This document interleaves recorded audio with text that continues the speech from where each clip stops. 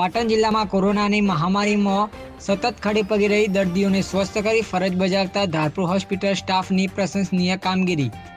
Dharpur medical civil હોસ્પિટલમાં દર્દીઓ માટે વિવિધ સુવિધા ઉપલબ્ધ છે. તેમજ ડીએન ડોક્ટર ગોસ્વામી સાહેબ તેમજ ડોક્ટર સ્ટાફની કામગીરી સતત દર્દીઓની સાથે રહી નિભાવી રહ્યા છે માનવ ધર્મ.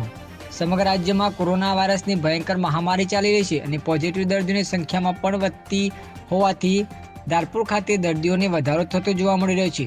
તેમ છતાં ધારપુર ખાતે ડોક્ટર ડીએન ગોસ્વામી સાહેબના નેતૃત્વ હેઠળના કામ કરતા ડોક્ટરો તેમજ હોસ્પિટલના સ્ટાફ પોતાના ઘરની કોઈપણ જાતની ચિંતા કર્યા વગર ખડે પગે કોવિડ વિભાગમાં સતત રહી દર્દીઓને સાજા કરી ડિસ્ચાર્જ કરી ઘરે જાય છે તેવી લાગણીઓ જોવા મળી. પાટણ ધારપુર મેડિકલ કોલેજ ખાતે સારવાર અર્થે આવેલા તમામ દર્દીઓને તેમની સાથે આવેલને બે વખતનું જમવાનું અને સવારે ચા અને નાસ્તો તેમજ સેવાઓ આપવામાં આવે છે.